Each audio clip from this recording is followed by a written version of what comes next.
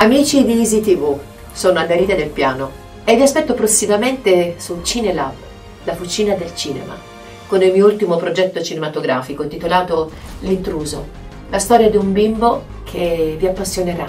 Vedetelo. CineLab, la fucina del cinema. Vi aspetto in tanti. Ciao, io e Oscar.